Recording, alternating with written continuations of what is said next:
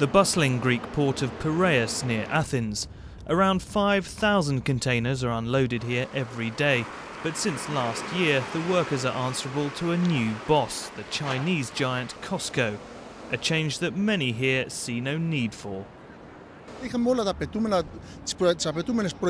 We had all the necessary conditions to enable us to continue operating on our own. We didn't need a savior or a messiah, but the managers wanted something else, something which we hadn't asked for. For 3.4 billion euros, the Chinese group bought a 35 year concession on two of the port's terminals, a toehold for China in the Balkan market. COSCO is a big investor. If business goes well for them, we'll see other Chinese companies investing in Greece.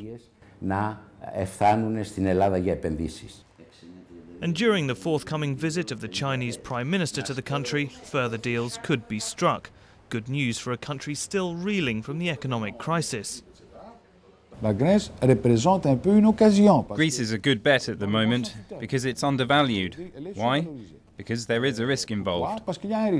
The Greek government now plans to implement a new law to clear away the red tape that currently restricts foreign investors. That's good news for other interested businesses. Όλοι περιμένουμε να όντως να προχωρήσουν έτσι. We all hope that they continue in this direction. We are hopeful and patient. The Chinese are very patient. But not all Chinese are waiting for an official visit before moving in. In Athens, they've already arrived.